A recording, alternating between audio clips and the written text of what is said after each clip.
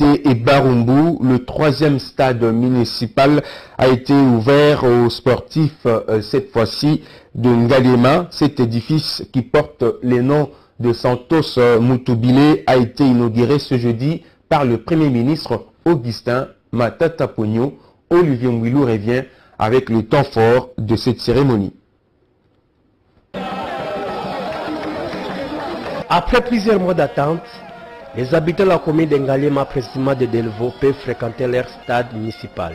C'est le chef du gouvernement congolais, Augustin Matata Pogno, qui a lancé les activités de cet édifice en procédant à la coupure des rubans symboliques.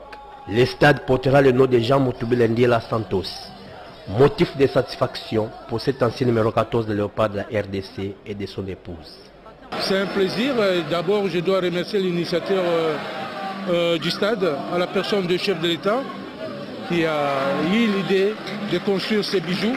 Euh, mais maintenant, il faut les préserver parce que euh, c'est quelque chose de bon, surtout dans, dans la commune d'Ngalema.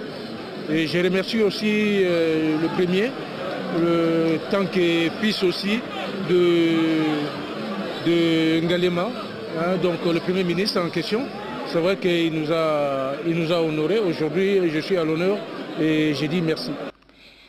Je suis vraiment dans la joie de voir comment notre président de la République, vient nous, de, nous honorer au travers de mon mari. Et nous sommes vraiment dans la joie. La journée a été vraiment très bonne. Les habitants d'Engalema doivent protéger, doivent aimer aussi et ils, euh, ils doivent l'entretenir. Cette cérémonie d'ouverture sera clôturée par quelques matchs d'exhibition et la remise des enveloppes aux équipes participantes.